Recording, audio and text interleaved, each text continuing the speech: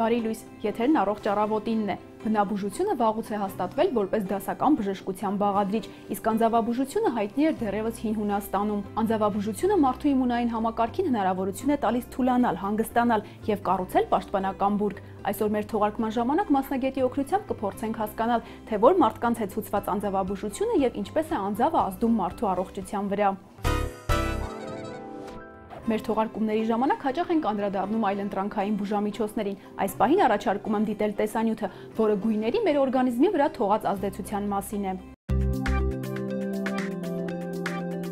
Գույնի օգնությամբ կարելի է ոչ միայն կանխել հիվանդության զարգացումը, այլև բուժել։ Կարմիրի երանգները ուժեղացնում են երակների եւ մկանների տոնուսը, նպաստում արյան ճնշման բարձրացմանը, արագացնում սրտի աշխատանքը, բարելավում նյութափոխանակությունը եւ սպիացման գործընթացը։ Կարմիրը կարող է առաջացնել փսխում, հաճախամիզություն, լեղազատում, վերացնել կանգային process-ները, ունենալ տաքացնող էֆեկտ։ Կարմիրի երանգները կարելի է օգտագործել նյարդային եւ էնդոկրին համակարգի խթանման համար։ Տաք գույները վնասակար են սուր բորբոքային պրոցեսների, փորլուծության, անքնության եւ նյարդային համակարգի գրգռվածության ժամանակ։ Կապույտի սառը երանգները նպաստում են արյան ճնշման իջեցմանը, դանդաղեցնում են պուլսը, վերացնում բորբոքային պրոցեսները։ Դրանք նպաստում են ջերմության իջեցմանը, հանգստացնում են նյարդերը, արագացնում ոսկրային հյուսվածքի վերականգնումը։ Միևնույն ժամանակ այդ գույները հակացուցված են կաթվածների, կանգային երևույթների, լեղուղիներում եւ երիկամներում քարերի գոյացման, այտուցների, ոչ արագ ընթացող քրոնիկ հիվանդությունների եւ հիպոթենզիայի ժամանակ։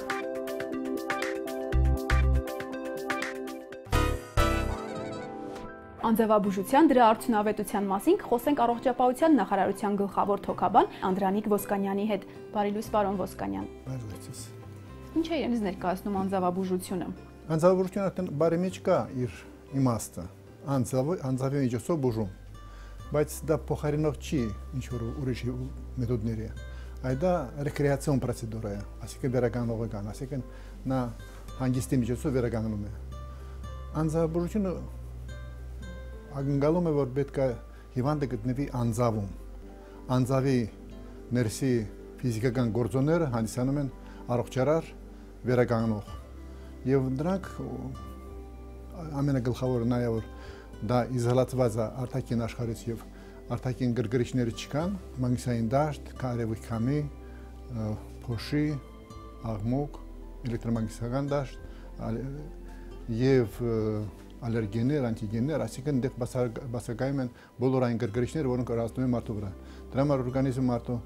իմունային համակարգը անելիք չունի, հանգստանում է, կոչվում է ռելաքսացիա։ Այդ բարակայում իմունային համակարգը, հորմոնալ համակարգը հզորանում է արդեն գործում են ուրիշ գործոններ. Այդ անձավի էներգետիկ դաշտը հողի ներսից դուրս եկող ալիքները դրանք ուժեղացնում են գորմոնալ համակարգը ուժեղանում է եւ այդ պրոցեդուրան դեպում է գարջ հետո որ դուրս է գալիս այդ բոլոր բաները այսինքն իզոլացից իզոլացած վիճակից դուրս է գալիս եւ այդ կորզոնները բոլորը սկսում են ազդել եւ օրգանիզմը սկսում է արագ-արագ իր պաշտպանողական համակարգը ղեկավարել Եթե մենք դա գրգռում ենք մի քանի անգամ, այսինքն 20 անգամ, ինչպես մեր տեխնոլոգիայով նախադասված է, ապա օրգանիզմը կարողանում է քանդելով հավաքելով, քանդելով հավաքելով, հավաքել ավելի ճիշտ իմունային համակարգի աշխատանք։ Որ հիվանդություններն են հիմնականում բուժվում այս մեթոդով։ Ես կասեի ավերիմ, դա ոչ թե մենակ հիվանդների համար եւ դա առողջարանի առողջ առողջ մարդկանց համար է։ Մեր բարակայում մենք օգտագործում ենք հիմնականում այն հիվանդներ, որոնք որ կապված են իմունային համակարգի հետ։ Բրոնխիալ ասմա, ալերգոզներ, դարբեր թոքային քրոնիկ հիվանդություններ, որոնք իմունային համակարգի հետ կապված են։ Ալերգիաները ոչ տոկային հետ վերականգնողը կան, ասիկան սուր, ինչ որ հիվանդություն դարելա, նկատի ունեմ ինֆեկցիոն, շնչերական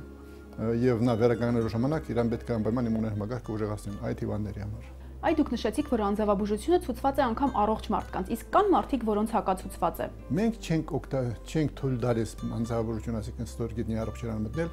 երկու դեպքում մեկ դեպքը դա տեխնիկական, ասիկան անվտանգության առումով դրա համար այնտեղ եթե ունեն դեֆեկտներ, ասիկան ոդկ չունի, լավ չի դեսնում, լավ չի լսում, դրանք մենք չենք իջացնում ստորգետնի առողջարանը մեկ էլ երեխաները մինչև 6 տարեկան ինչու որ դրանք չեն կարող իրանց դիրաբետել եթե լույս հանգի եւ պետք է ինչ-որ ուրիշ զապասնոյ խոդով դուրս բերել բայց մենք հաշվի առնելով որ դա շատ արդյունավետ եւ շատ ուժեղ գործոն է մենք մշակեցինք եւ ստեղծեցինք վերգետնյա անձավ։ Ես ուզում եմ շեշտել անձավ, ոչ թե սենյակ աղի, այ անձավ, որը ունի նույն գործոնները ֆիզիկական, այսինքն ունի մագնիտային դաշտի իզոլացված, ունի ռադիոակտիվ ալիքների իզոլացիա եւ այդտեղ մենք անցկացնում ենք այդ այդ մարդկանց, որոնք որ արգելված է ընդշնել աղիանք։ Իսկ հիմա դեպքում այն դեպքում, երբ որ իրանք ունեն ցաներ հիվանդություն եւ չեն կարող այդ 250 մետր շնել գետնի տակ։ Անձավաբուժությունը թանկ հաճույք է։ Առողջությունը ընդհանրապես թանկ հաճույք է։ Իսկ անձավաբուժական պրոցեդուրան գախված է ծախսերից, տեխնիկական ծախսերից։ Դրա համար բավականին թանկ է։ Այսինքն մեկ կուրսը 20 սեանս աղի հանգիստոր գետնի առողջարանի այդ պրոցեդուրները արժեն 200.000 դրամ։ Վերգետնյա առողջարանը, որտեղ ծախսերը քիչ են, դա անում է 140-160.000 դրամ։ Դա շատ թանկ չի, այսինքն, բայց հաշվի առնելով որ մարդկանց ունակությունը հնարավորությունները քիչ է, դրա համար մի քիչ թանկ է։ Բայց նա լրիվ արդարացված է, որտեղ եթե չանցնի ինքանձաբուժական առողջարար պրոցեդուրան, ապա իր սրացման եւ ասմայի եւ բուժման համար ծախսերը